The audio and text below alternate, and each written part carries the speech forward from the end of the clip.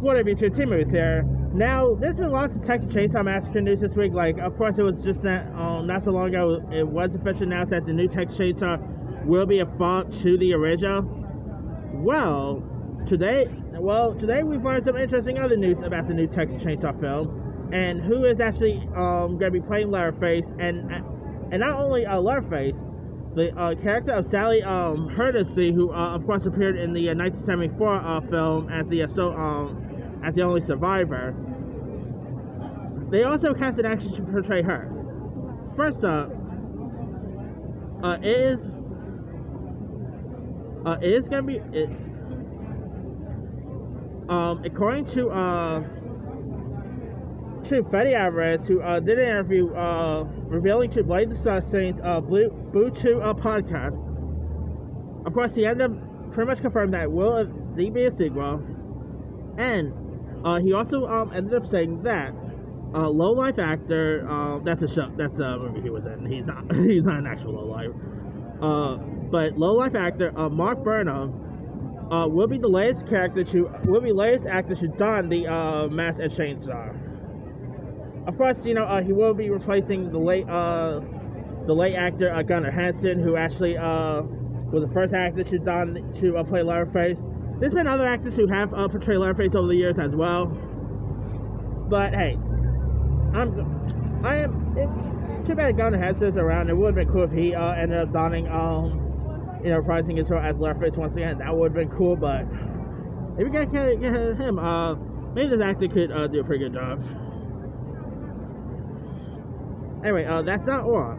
It has also reported that the actress uh, Owen Fowler will be portraying the role of um, Sally Hart uh, Hardesty in uh, the upcoming uh, Texas Chainsaw uh, Massacre sequel. Now, of course, like I said, uh, Sally you know ended up becoming like the uh, you know the only survivor of the first um, Texas Chainsaw. Sally, the actress who did play Sally in the original uh, Marilyn Burns, she tragically passed away back in uh, 20 um, back in 2014. Although she did end up reprising her role um, like a year, um, yeah, like a year earlier uh, in uh, Texas Chainsaw 3D. Uh, but um, looks like this uh, new action is gonna be uh, playing um, Sally, which not bad. I mean, uh, it's definitely shown that this is gonna be a fault to the original Texas Chainsaw. I mean, I'm I really do like the uh, you know plot synopsis too. You know, uh, Of course, the plot synopsis uh, says uh, the spiritual sequel to the original Texas Massacre uh, takes it takes place 47 years later. Melody is a 25-year-old uh, San Francisco moneymaker who drags her younger teenage sister, played by Elsie Fisher, with her to Texas on a business trip. Out of fear uh, with her um, to Texas on a uh, business trip. Uh, out of fear leaving her alone um, in the city, the younger sister